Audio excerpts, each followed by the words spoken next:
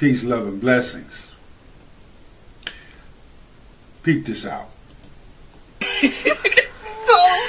bad. I think I think we were just saying that we think that we've actually hit rock bottom. we think we've actually hit rock bottom, and I don't think we. I don't think. I think we were either punked, catfished, like or it felt like a sick joke. I was like literally thinking to myself like, why am I like? How did I get here? how did I get here? How- Yes, bear witness to the nervous laughter of desperation. Rock bottom in its purest form. Desperate times, calling for desperate measure. lately when men over like 35 ask me out, ask for my number, I just say yeah. Seriously? Looking like that? Your face is shiny as fuck.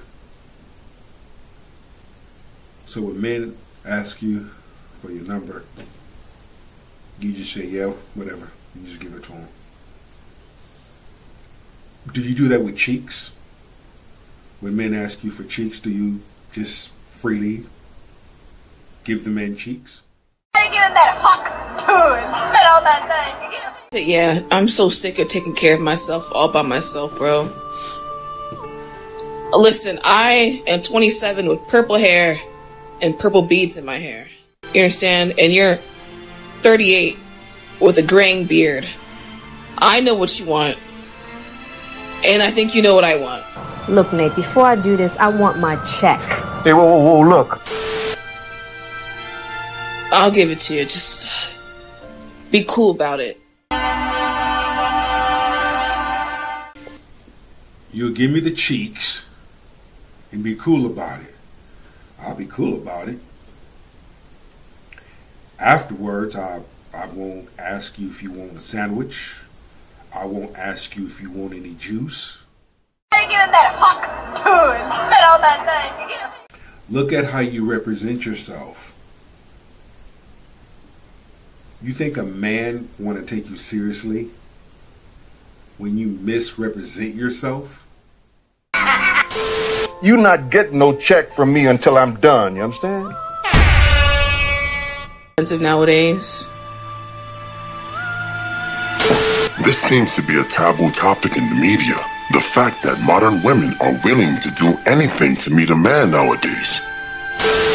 So I went to a singles event, and when I got there, it was literally 90% women. And I was like, Whoa, whoa, whoa. You went to a singles event looking like that. Whether it's walking around Home Depot aimlessly, waiting for a man to help them. Okay, y'all. So word on the street is that the men's is is, the males is is is, is the thing is at Home Depot. So ladies, let me put you up on game. Stop getting that stuff from Target and start going to Home Depot and pick up those things of that nature. You know what I'm saying? Because uh, you just might get lucky and and and and and and and. In, in, in, in, in.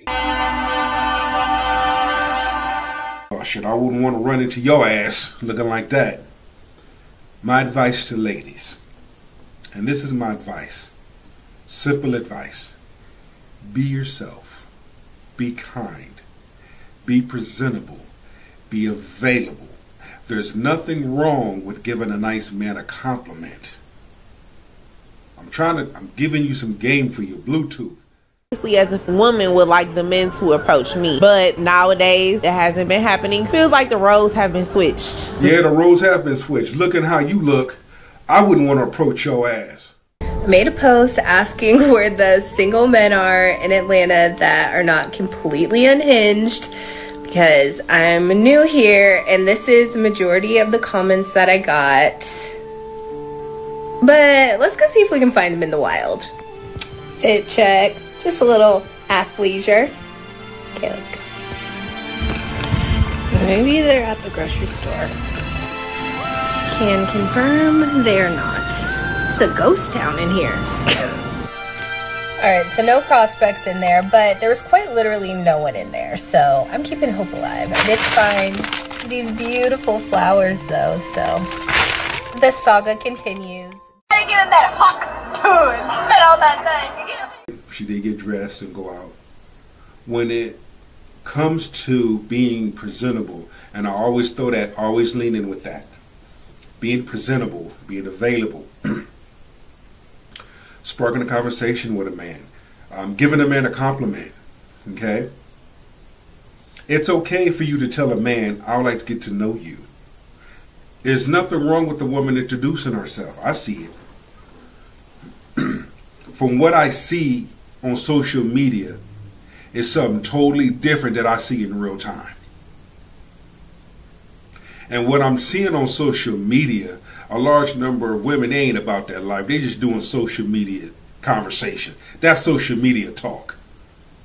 Because meeting a woman or talking to a woman in real time, she's not saying half the shit that they're saying on social media. There's simply not enough thirsty men available to feed the never-ending demand for attention. Not enough men to buy overpriced bottles and VIP sections at the club for women wearing $50 Fashion Nova dresses. Not enough men to swipe right on Bumble and Hinge for women with big butts and bare bellies. Not enough gullible men that are happy to spend $500 on a first date. Plus, there's too many of these damn passport bros that keep spending their money abroad on exotic eights and nines that cook them French toast and poached eggs in the morning after marathon sex sessions. oh, French toast. Oh, excuse me. The nerve of these men. These poor, defenseless, independent women now have to dress up in provocative attire and aka walk the trek of their local grocery store for male attention that they are entitled to. What the hell is going on? Why have so many men become unthirsty? Men are waking up Men are realizing their worth. Men are embracing self.